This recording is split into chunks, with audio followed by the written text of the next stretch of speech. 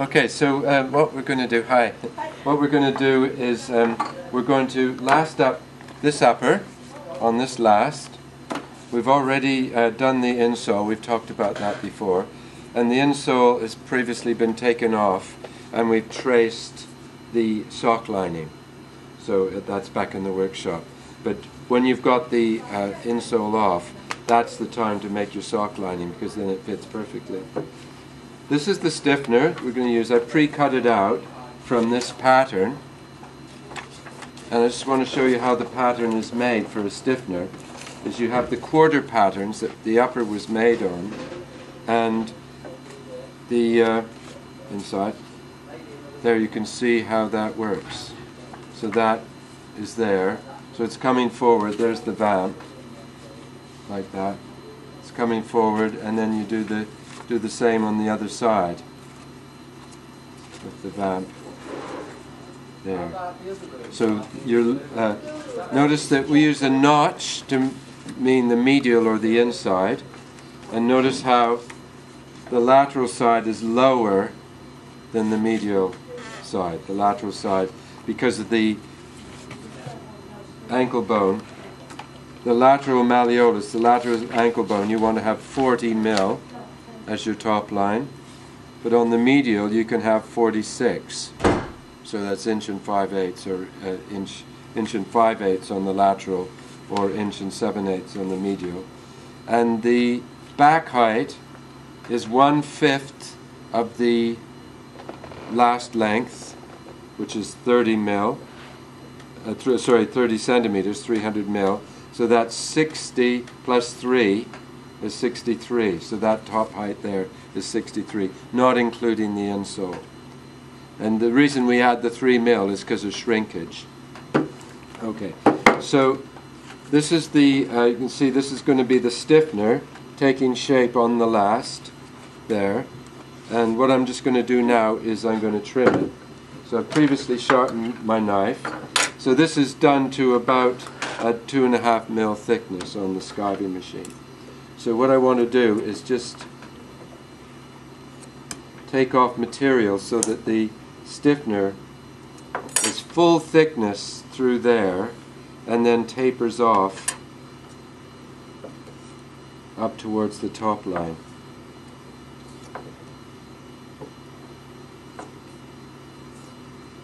And by the way, this stiffener has been soaked.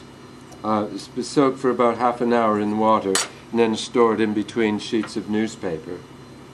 Do you want to come closer? Can you see en enough? Because there's only uh, four of you, then you know you could get nice and close.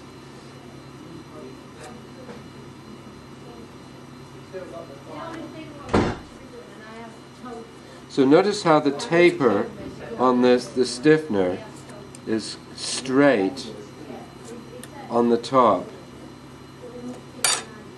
See how it's, uh, forming a, a straight line. So what you want is when it's on the foot that you don't feel any bumps or lumps, that you just feel a, a nice smooth graduation from being uh, absolute fine feather edge on the top line to being a full thickness around the cup. I'm just working this. You can also feel it, feel for any bumps, any ridges. It feels quite good. So whereas the bit where it, so that's going to be on there, and it'll be just uh, below the top line by about 3 mil when it's on the upper. And then I've got actually quite a bit of surplus. So the way to find, so I'm just tapping it with the hammer and that that produces this uh, the feather line. So there's the feather line. And then the medial you know under the arch you want it to be longer. So I want to just give myself about six mil longer than that feather line.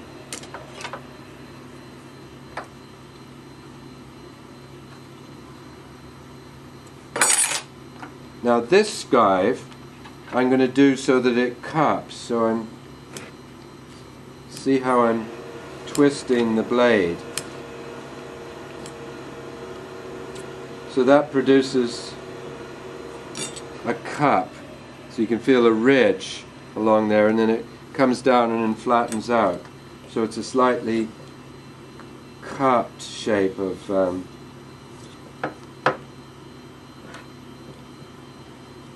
of skive. This is because I want it to wrap around. I want it to wrap around the bottom of the last and make a nice flat seat. But I want the full thickness to be around at the uh,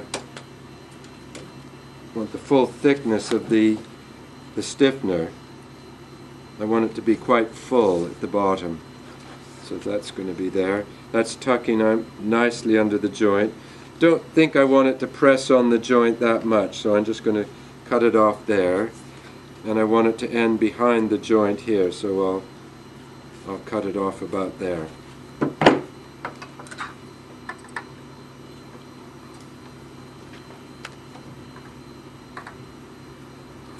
And just go back to the taper. If anybody has any questions, this is all being filmed, and so if you have a question, then people watching the film will have a question as well. So just ask and I'll, I'll answer it. By the way, we can get these knives for you, and I, there's a way you have to grind them so that they're thin here.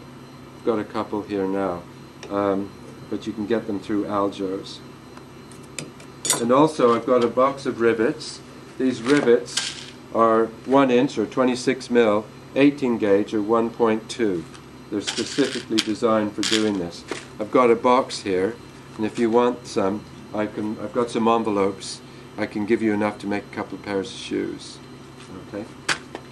So now this has been made, cut to the pattern, so presumably my stiffener is going to fit into my upper.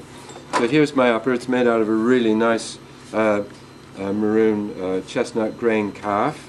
There's a Dutch orthopedic linings and uh, kid, sorry, a pig lining there, and then a counter made out of a similar, yeah, it's made out of a, a, similar material to the upper. So the suede backing counter there. So what I want to do is, there might be a bit of rubber solution, so, you know, from the closing, make sure it's all open, and just check that the upper is going to fit in there. So fold it in half there and just pull it like that. Pull it like that, then it's starting to take on the last shape. And so there's, that's found the midline. So put the midline down the seam in there, pop it in, and make sure there's not any interference from the, uh, see like where that tab is there, it just curved under there where the uh, the tab is from. It's a it's a Derby shoe, so that you've got the tab there. You want to make sure the stiffener is going to tuck up behind there, and as it is, it curves down and just misses it. And in there, it just curves and just misses it. So it, it's coming down there. Just making sure that it that the uh, top of the stiffener is fitting right snug up into the top line of the upper. Okay. And uh, Tommy Simons that I learned from, he used to get a hand stitch and literally stitch there and there to stop the uh, stiffener coming down. But I won't do that because I don't think he had the, the, patterns available to to make his stiffeners from. But uh, hopefully that'll stay up there. But uh, one way to as I say, just put a loose stitch temporarily and that'll uh, stop the stiffener coming down when you go to last it up. Okay, so this is a, a shoemaker's paste. The best one we found is called Metrotex 047 and you can get it from Aljo's. Uh, shoemaker's paste nowadays is usually like a form of white glue and uh, it's uh, this is just the best. Um, there, there are others on the market. Um, and if you if you're stuck somewhere, just make up some wallpaper paste, because that's basically what it is. Or if you can't get wallpaper paste, you've got some white flour, it's just flour and water. That's, you know, the old uh, stuff is paper mache. Okay, so what I'm doing is um, I've got the stiffener in there, so I'm going to put the paste in between the uh, stiffener and the upper. So I'm just working between the stiffener and the upper, being quite generous.